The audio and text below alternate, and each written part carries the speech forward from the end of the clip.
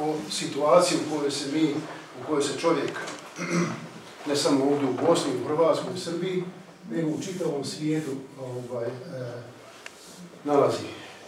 E, nedavno je ovdje u Modrići bio prisutan, pozvao ga je Bosanski kulturni centar, e, Abdullah Sidran, kažu neki najveći e, živi pjesnik u Bosni i Hercegovini, i on je rekao onu svoju, i mama je rekao tu onu svoju čuvenu krulacu, kaže, ja ljude volim, ali ih ne podnosim.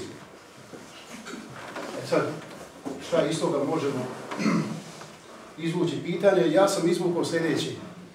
Mi zemlju volimo, ali, ali činimo, činimo svašta.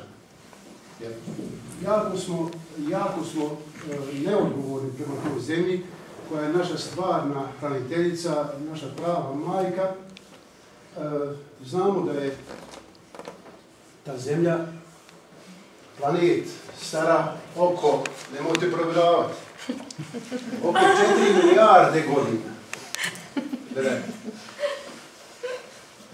Znači, to je nepojmljivo za ljudski um, tu čovjek nestaje nikako.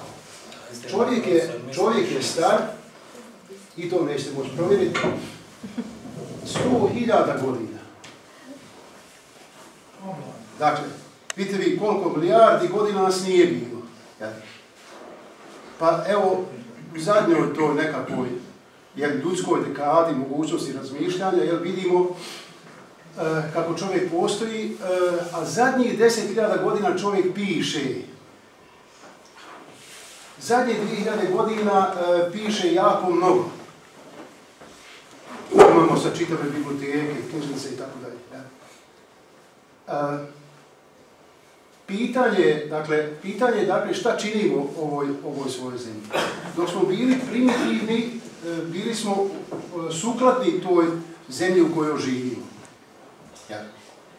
A sad kako smo postali, kako smo postali e, jako razvijeni, i to zadnjih 300 godina, eksplozija nauke, umjetnosti, tehnike i tako dalje, eksplozija stanovništva, jel? Dakle, već nas ima, već nas ima preko 6 milijardi, 6 milijardi, 6 milijardi stanovnik je bio u visokom, nedavno, prije nekoliko godina, sad tu dječak u 17, ne znam, 15-16 godina ima sada, ide u prvi, drugi srednje škole, ovaj, tako da ova tema e, ekološki otisak poljoprivrede e, meni postaje jako intrigantna. Kako se dakle odnosimo, šta mi to činimo to našoj zemlji? Posebno e, u poljoprivredi, jer poljoprivreda je ono osnovno, ono, ono što nama daje mogućnost da, se održimo i da prenesemo svoj narod, vidite, narod, Jel? Dakle, narod da ode u vrijeme. Jel? E, ja sam se poslužio e, ja sam se poslužio jednim radom koji je mnogo, mnogo